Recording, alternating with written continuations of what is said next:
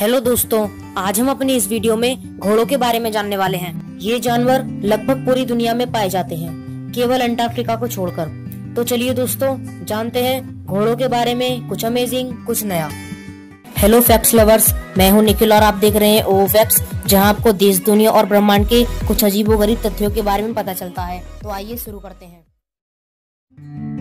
दक्षिण अफ्रीका के जंगलों में आज भी घोड़े बहुत बड़े बड़े झुंडों में पाए जाते हैं। एक झुंड में एक नर और कई मादाएँ रहती हैं। अगर घोड़ों को किसी तरह का संकट महसूस होता है तो नर घोड़े चारों ओर से मादाओं को घेर कर खड़े हो जाते हैं और दुश्मन का सामना करते हैं। इतिहास में घोड़ों पर लिखी गई पहली पुस्तक सालिहोत्र है, जिसे सालिहोत्र ऋषि ने महाभारत काल से भी बहुत पहले लिखा था। आज से करीब छह करोड़ साल पहले के घोड़ों का कद केवल चौदह इंच और वज़न मात्र साढ़े पाँच किलो होता था। इसे इहोपस कहा जाता था।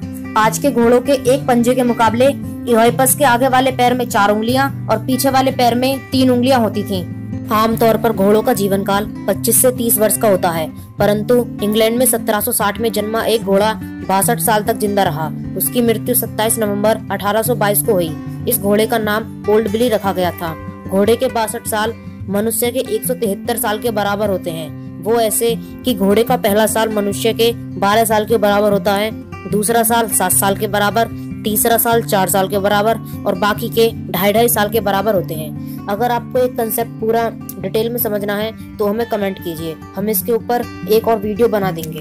दुनिया में घोड़ों की लगभग 160 नस्लें पाई जाती हैं। इसमें अरबी घोड़ा सबसे अच्छा माना जाता है। घोड़े अक्सर खड़े होकर ही सोते हैं, लेकिन कभी कभी ये लेट कर भी सो जाते हैं। ज़मीन पर रहने वाले सभी प्राणियों में से घोड़े की आँखें सबसे बड़ी होती हैं। घोड़ों को गजनी फ़िल्म के आमिर खान की तरह शॉर्ट टर्म मेमोरी होता है, जिसके कारण ये भविष्य के बारे में ज़्यादा सोच नहीं पाते हैं। मनुष्य के बाल, नाखून और घोड़ों के खुर एक ही प्रोटीन के बने होते हैं। एक अनुमान के अनुसार संसार में लगभग छह करोड़ घोड़े मौजूद हैं। घोड़े केवल नाक से सांस ले सकते हैं, मुँह से नहीं। ऑस्ट्रेलिया में सत्रह से पहले एक भी घोड़ा नहीं था। इसके बाद यहाँ के उपनिवेशी इस देश में घोड़ा लेकर आए। ऑस्ट्रेलिया में आज तक घोड़े का कोई कंकाल भी नहीं पाया गया है।